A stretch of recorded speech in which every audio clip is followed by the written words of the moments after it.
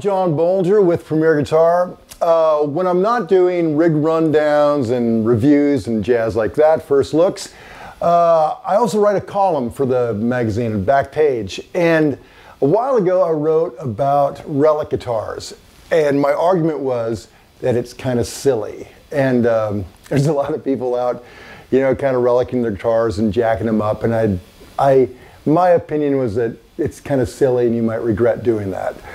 That being said, just my opinion, and I actually, um, I've got a bass that was relic and it's cool and it feels good and I, I get it. And it's just my opinion.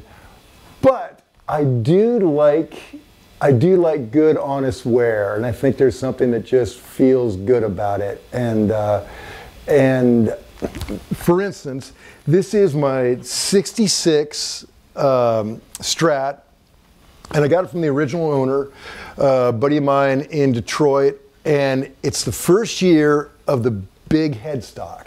And the reason they did the big headstock is that CBS had just purchased uh, Fender, and they were marketing guys. They thought, how do we get our name out there? Well, we'll make the logo bigger, we'll make the headstock bigger. So this had nothing to do with sound, it was all about just marketing. They wanted a bigger, logo. And this is like the transitional logo right there. Um, but Hendrix kind of leaned towards these because that's what they were making when he was, you know, when he was playing. So it's part of that Hendrix thing. And this is all just good, honest wear. And the weird thing is, I guess back then, they painted every guitar this weird color and then would put you know, if it was a sunburst, they'd put the sunburst over, or if it was white or whatever, they would paint it over this initial color, I'm told. So, anyway, um, this is kind of, you know, this is a guitar that's been around the block, and it just, you know, it's buzzy with the, with the 60 cycle hum, and it's got its glitches, but it's fabulous, you know, it's just got a thing. Over here, this is a PRS I got brand new and it's the DG model.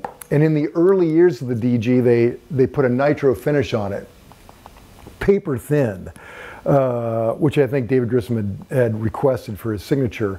And as you can see, the nitro just uh, ages really quickly. So all these just bumps and, and hits it took along the way, I did a lot of them in my tech uh, Adam, if you're watching, you did some of these too. That's just, that's just, that's just the way it went. But, you know, I love every battle scar. This is a brand new Les Paul, and and uh, it's pristine for now.